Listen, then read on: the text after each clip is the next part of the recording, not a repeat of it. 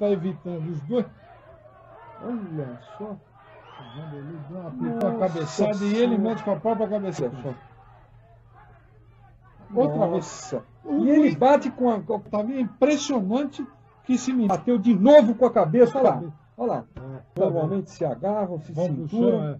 Vão para o chão e tentam dinamitar o adversário no chão. Né? Já Ele é, bate- Eu acredito que depois disso aí o João vai ter uma conversa. Olha isso. Bom, Numa luta desse, dessa categoria, qualquer distração pode ser fatal. É, exatamente. Olha lá, olha lá. Foi, é, estava presente lá no Maxud, cepado com o olho.